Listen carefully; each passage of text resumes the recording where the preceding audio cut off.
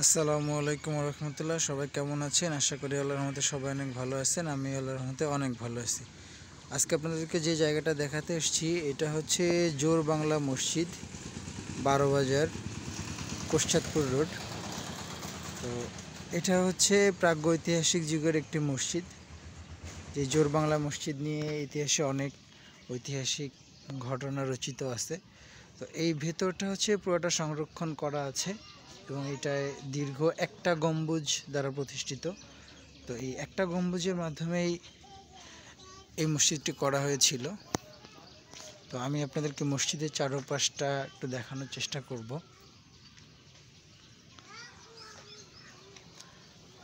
এটা হচ্ছে মসজিদের ফ্রন্ট সাইড। এখানে কাটা তার দিয়ে সংরক্ষণ করা আছে। এখানে প্রবেশাধিকার নিষেধ।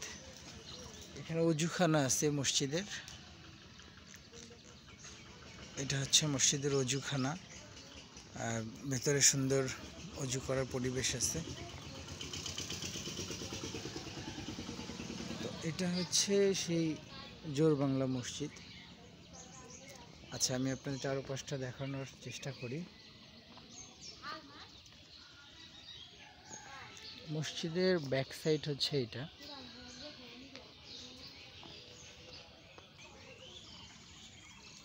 এটা হচ্ছে মসজিদের ব্যাক সাইড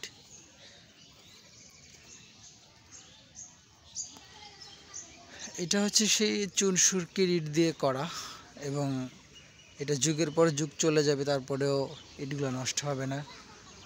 এত মজবুত ইট দিয়ে এটা করা হয়েছে। তো জোর বাংলা মসজিদ নিয়ে প্রত্নতত্ত্ব অধিদপ্তরের অনেক বিস্তারিত বর্ণনা আছে। আপনাদেরকে আমি মসজিদের সম্পূর্ণ ভিউটা দেখানোর চেষ্টা করছি।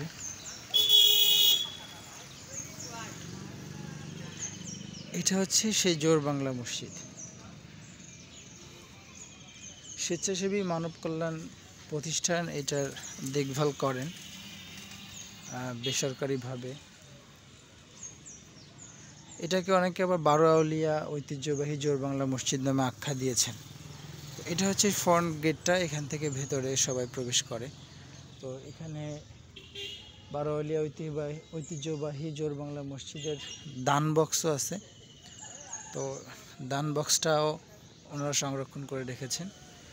তো আপনাদেরকে এতক্ষণ আমি এটার যে বিস্তারিত বিষয়ে বলার চেষ্টা করেছি এবং আপনাদেরকে দেখানোর চেষ্টা করছি যে এখানে সরকারিভাবে যে পরিচর্যা করা হয়, সেটা মোটামুটি যে বাইরে থেকে একটা প্রোটেকশন হিসেবে কাটা তারা বেড়া দেওয়া আছে। তো যে কোনো কিছু এখানে প্রবেশ করতে পারবে না। এবং মানুষও এখানে যেতে গেলে হয়তো পারমিশন নিয়ে যেতে হবে, তো এখানে আমি আপাতত সকালে সকালে আসছি যার কারণে কাউকে এখানে কর্মরত অবস্থায় দেখতে পাইনি। তো আপনারা চাইলে এখানে আসতে পারেন, এখানে পারমিশন নিয়ে এই গেট থেকে ভিতরে ঢুকতে পারবেন। তো আপনাদেরকে আমি একটু জোরমালা মসজিদের সম্পূর্ণ ভিউটা দেখানোর চেষ্টা করেছি। তো আপনারা যে কোনো সময় চলে আসতে পারেন ভিজিট করার জন্য। তো আজকে আমি ভিডিওটা এই পর্যন্ত শেষ করছি। আশা করছি সবাই ভালো থাকবেন, সুস্থ থাকবেন। এই কামনায় আল্লাহ হাফিজ।